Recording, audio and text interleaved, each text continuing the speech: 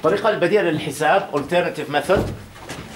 بدل ما أحسب P وأقسمها على S أطلع ال distortion power factor وال displacement power factor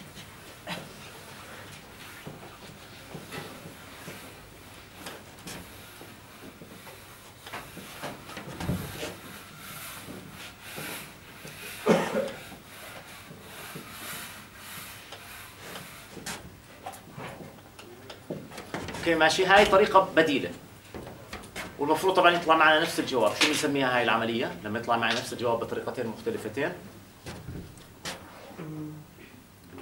شو إيش بقول لما بقول عندي طريقة طلعت بطريقة وبعدين طلعتها بطريقة ثانية وطلعوا الجوابين نفسهم؟ إيش بنسمي هاي العملية؟ verification. أو validation.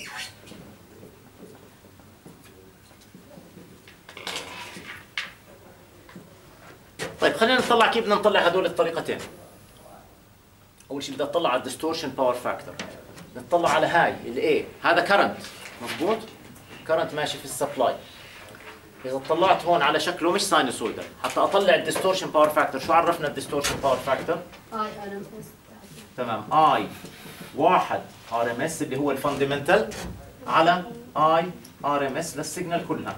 I RMS لل signal كلها بقدر أطلعه مش هيك؟ مش طلعناه من هون هيو. اللي هو اللي هو 2 على جذر الثلاثة مزبوط خلينا نكتبه هون نحطه هون. I RMS من ال source. بيساوي. جذر 2 على 3 في إيش؟ في هاي القيمة. مزبوط اللي هي قديش كانت قيمتها؟ 48 و6 بالعشرة. قديش تطلع معنا اللي حسبوها؟ فارس أو مالك. 39.7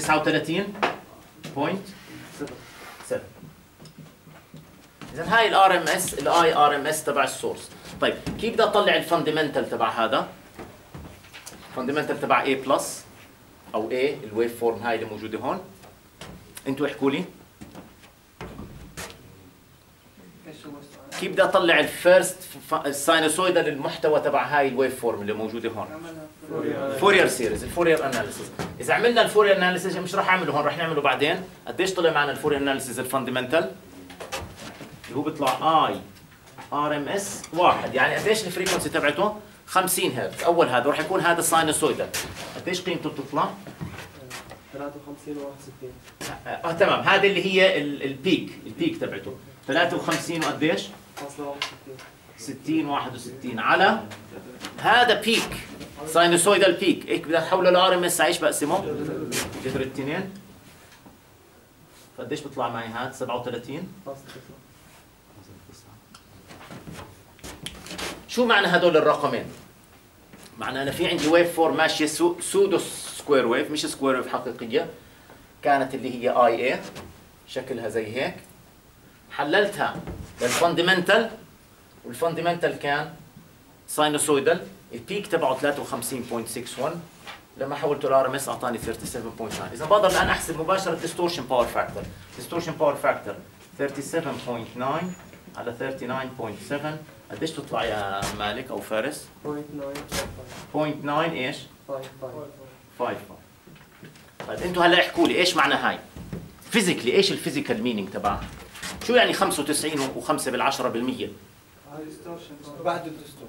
آه معناه معناها شو معناها بالنسبة لي بيني وبين شركة الكهرباء شو معناها؟ تمام. أنا سحبت من شركة الكهرباء سحبت fundamental بس كمان سحبت harmonics ال harmonics هدول ما عملوا لي delivery ل real power مين اللي عمل لي delivery ل real power بس ال fundamental I فلو أنا حاطط power meter بيني وبين الشركة بس عشان تحسب سبب ال distortion تأثير ال distortion. إيش راح ألاقي؟ راح ألاقي لو أنا حسبت ظاهريا مفروض أنا مثلا أسحب كذا وات بس أنا فعليا سحبت 95 و5 بالعشرة من هدول الواتس بسبب إنه أنا بسبب إنه عندي آه، في distortion. Okay? ماشي؟ ما دخلنا لسه في ال displacement في displacement هلأ. من وين راح يجي ال displacement إيش سببه؟ ال alpha ال firing angle اللي عم بأخرها من هون. لو فيش عندي تأخير ألفا كان راح يكونوا in phase كان مزبوط راح يكون في distortion بس فيش تأخير. وين بديت أسبب ال distortion لما إيش عملت؟ لما حطيت ألفا. قديش كانت ألفا؟ 30 درجة اخرناها فتأخر ال current صار عندي. فصار عندي هذا ال fundamental RMS ال current هذا.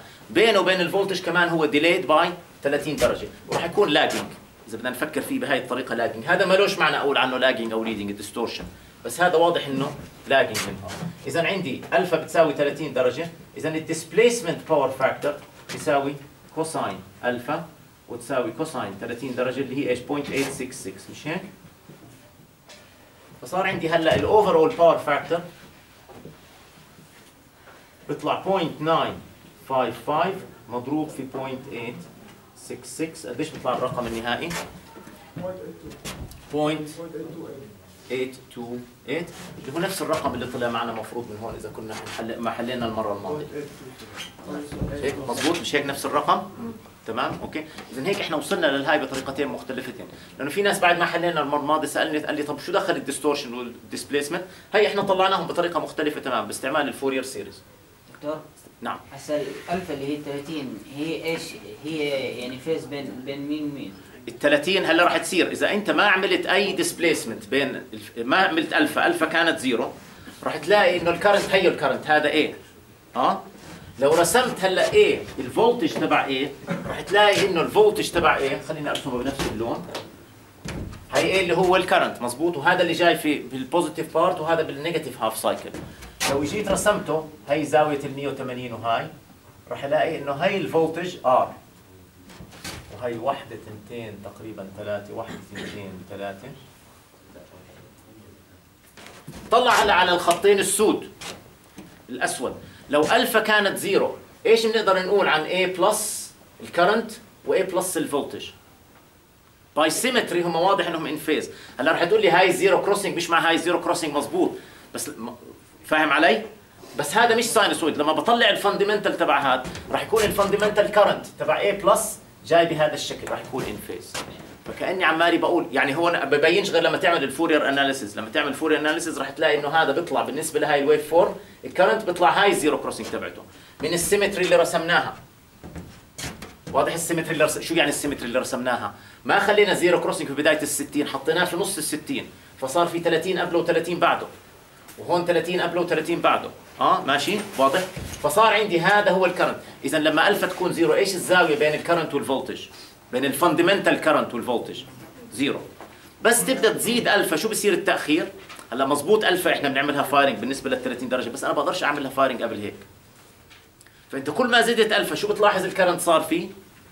تأخر. تأخر. من هون آه. طب هو مش المفروض انه يكون عندنا phase shift بين ال current وال voltage بسبب وجود ال inductor يعني؟ لأنه إحنا مش pure resistor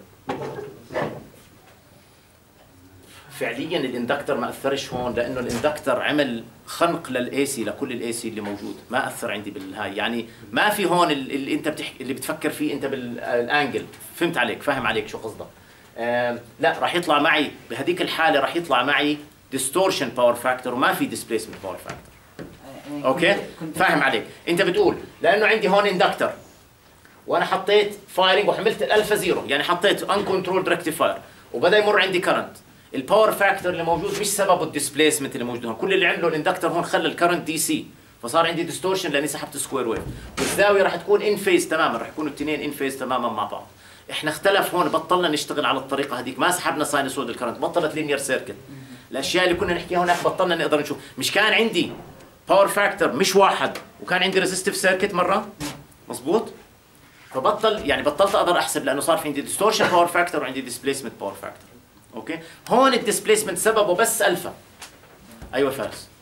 بس احكي إنه لو كان ال load resistive ال current ال load رح يكون أول AC term فيه اللي هي 6 omega لل source current امم فهون ال distortion بيجي. آه راح يصير. يعني أنا الفكرة العامة اللي بدي أقولها انه ال component رح يكون فيه 6 ال fundamental frequency تاعته 6 6 اوميجا تمام تمام. okay تمام. إيش كان سؤالك اللي هون؟ دكتور إذا كانت الألفا نحن بتصغر ال power factor فعليا صح؟ بتسوق ال power factor بالضبط. طب ليش ليه بنستعمل؟ ما هو إحنا مضطرين نعمل rectify ليش استعملنا power electronics نرجع نسأل السؤال ليش استعملنا power electronics ما هاي أحد مشاكل ال power electronics إنه إيش؟ إنه عم بخرب ال power factor طب ليش إذا استعملته؟ ليش استعملت هاي الدائرة عشان اتحمل هاي ال power هذا هون ممكن يكون عندي DC motor بدي أتحكم في ال DC motor أغير ال DC voltage اللي عليه. ما كنت أقدر أعملها بطريقة ثانية ما في طريقة ثانية شو البديل؟ إذا ما عندي power electronics وما استعملت ال power electronics في أشياء كثير ما بقدر أتحكم فيها اليوم. مزبوط هذا الثمن إحنا بندفعه. لكن في حل هلأ عم بصير شو هو الحل؟ الساينوسويدال البيرتر